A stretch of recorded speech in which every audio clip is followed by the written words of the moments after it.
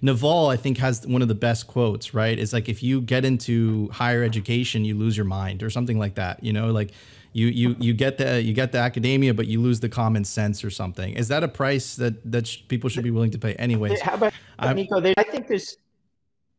Yeah, but can I just say this in defense of a lot of really good professors?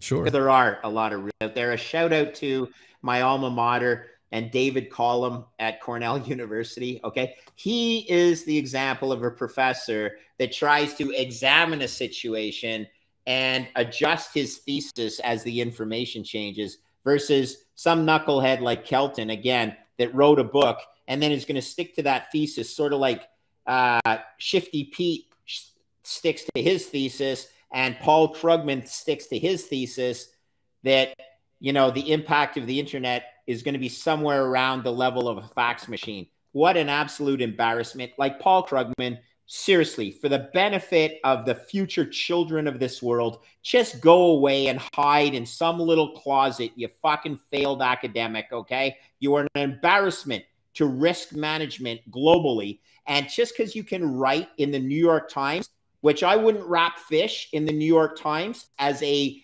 publication because they're so conflicted. But go and write your little shit in the New York Times because you see a world that you've never actually managed. You only do it on a blackboard in front of a bunch of students. If I was from Princeton University, I had a degree from Princeton University, and Krugman was still an endowed professor at Princeton, I would rip that piece of shit up because it's an embarrassment his analysis.